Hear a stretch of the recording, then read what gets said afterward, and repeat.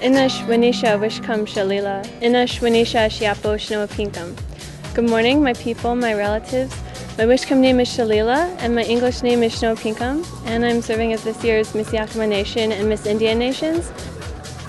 I first heard about NCAI um, online, and I thought it was really amazing and incredible that all these tribal leaders come together to discuss important issues. That will change everything we do. We've had a, a tremendous uh, agenda so far. We've got uh, some speakers who've been really dynamic. We've heard from uh, representatives of Congress, uh, people in the U.S. Senate uh, Committee on Indian Affairs.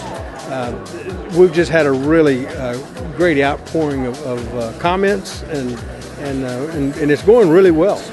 And I think probably testifies to why there's more youth coming out to important conventions like this and making sure that they're part of the conversations as well.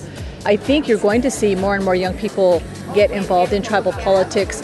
I believe it's a reflection of the number of young people that we have, and I believe statistics show that about 50% of tribal members are 25 years old or younger.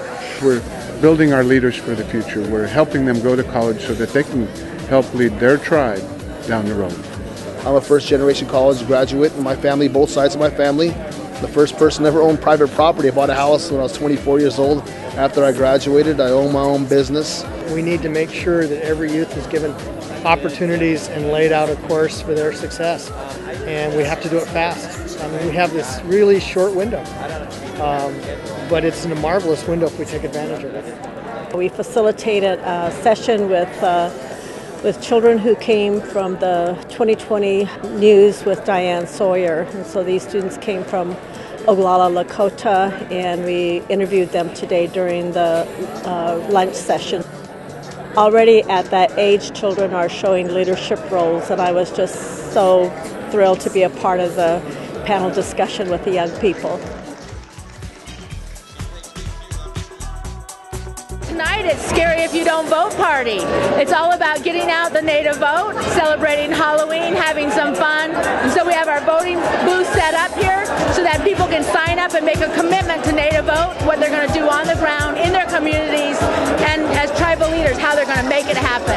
We don't have the huge numbers as other minority groups do, but we got key numbers, and we can swing a vote, we can make a difference. This is my first time here, so I'm really excited and I also on the Senior Youth Council with my tribe, so this gives us a lot of opportunity to learn and take things back with us. Youth are energized, they're passionate about the issues, and so they can actually motivate people in their community to do things and to go out to vote, and then they become voters themselves.